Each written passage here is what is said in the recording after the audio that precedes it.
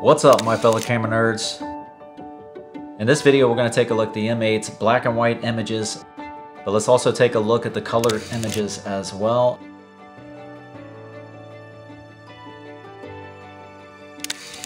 A lot of people say that the black and whites look like Leica's monochrome black and whites. I don't know if that's necessarily true, but I can say sometimes it does. I'd say more or less though, it does have a special look to the black and whites. Can definitely see what all the fuss is about with this particular camera. It's just got some beautiful, beautiful tones all around. I do have a dead pixel on this camera, so I do have to go in and edit that out of the images. But other than that, these are pretty much straight out of camera. If you're curious about the settings that I'm using, I'm using on the color saturation, just black and white, of course, for the black and white JPEGs. And the contrast is set to high. And then, of course, I'm shooting the DNG files as well, so I have the raw color files as well. And I just absolutely love these colors.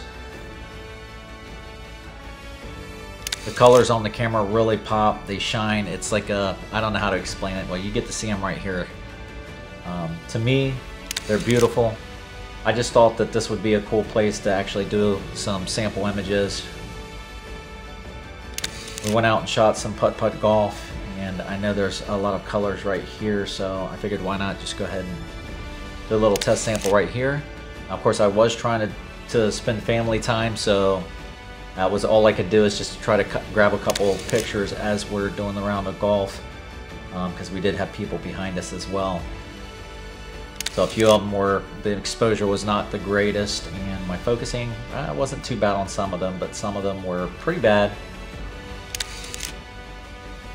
So I'm just kind of showing you the best that I got as we were going through the uh, the little putt-putt golf course there at uh, City Walk Universal and just uh, some of the scenes are really cool and I thought the colors just looked so good coming out of this camera.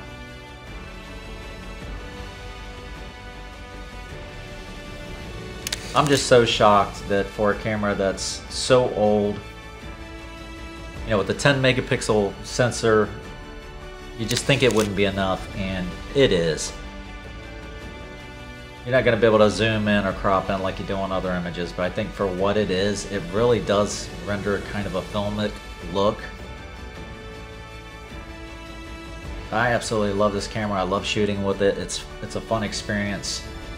And more or less this video is just for those that really want to see truly what the colors look like coming straight out of camera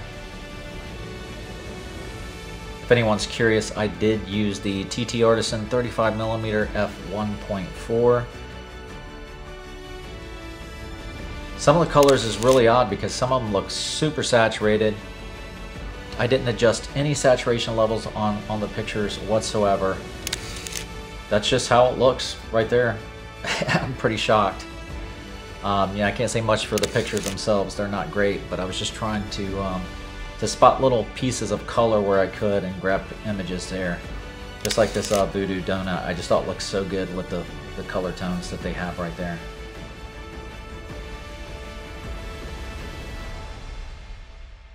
I am giving away three of my film cameras. If you'd like to be in the giveaway, it's very simple. All you have to do is like and comment in this video. Subscribe if you're not already. I've linked another video in the description. Just head on over to that video, leave a comment with the keyword giveaway, and that's it. You're entered to win.